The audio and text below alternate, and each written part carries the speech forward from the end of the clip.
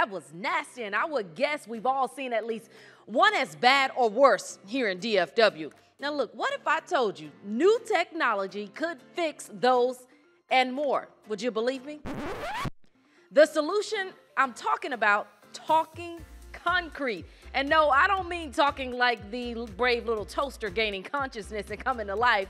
Here's how the Purdue University researcher and inventor of this system, Luna Lu, describes the new technology. Basically, putting a sensor in in the, any concrete structure, so therefore the sensor can tell the engineer and the contractors if the the strength is ready to take on any construction or take on any major traffic. The sensors can be used to monitor structures for a lifetime and tell engineers just how healthy those structures are. Now, the main goal of this is to catch problems before they get too bad, cut down on cement use, and speed up construction time for repairs. Even with all of that said, why should you even care about all this? Show me the money!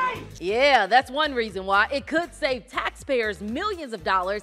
And I know we all want to save a little bit of money, right? You and me does not have to sit in the traffic, waste our time and the money and the gas right? And number two is we can drastically reduce 25% of the cement usage. The Lone Star State is one of nine that signed on to test it out, and it's already in parts of North Texas. In fact, the sensors are currently in place on I-35E down in Hillsboro. The technology is six years in the making, but it could replace decades old technology and save us a lot of trouble and money in the long run. So talking concrete, Yes, please. For now, I'm Tashara Parker. You can follow me all over. And as always, if you have an issue, I'm asking you to talk traffic to me.